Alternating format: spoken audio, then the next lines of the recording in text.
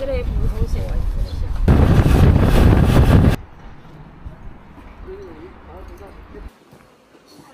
哈喽，大家好，我是范仙儿。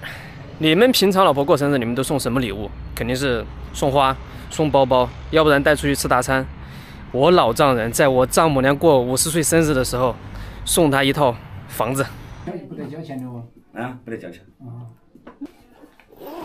签字你放到按手印哈。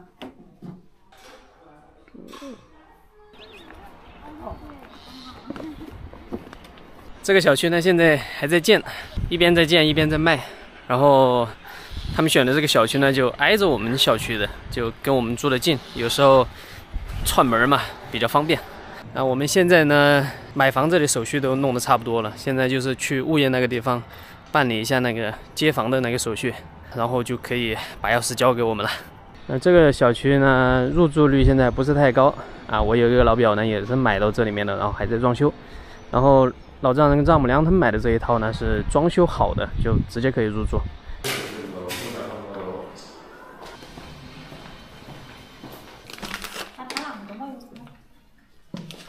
哎，是个什么玩意儿？这个？直饮机。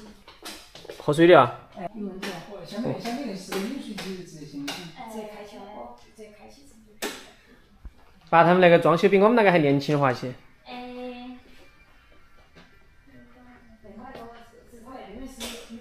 嗯，这个房间有四个卧室，客厅、饭厅是连着的在一起，然后那边是厨房。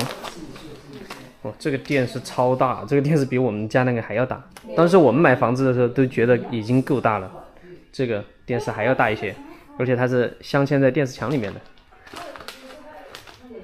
好，看一下这边，这个是主卧室。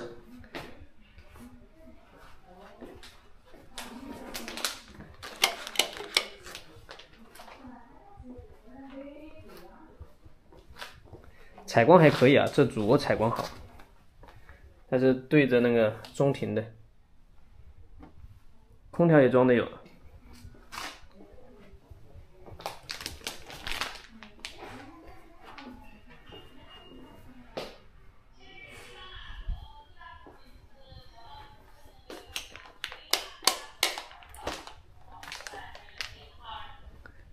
这个是一个次卧。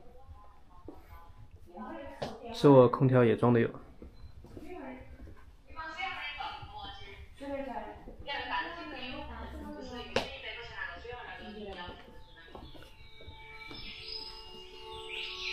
可以收钱吗？电话那个高里有噻，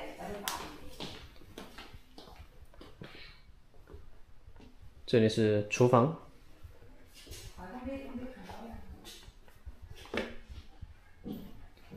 一百零八个平方。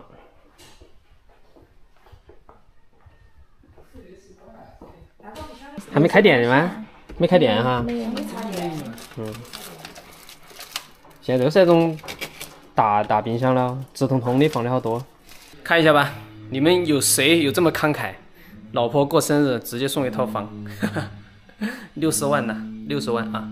六十万我得挣多少年啊？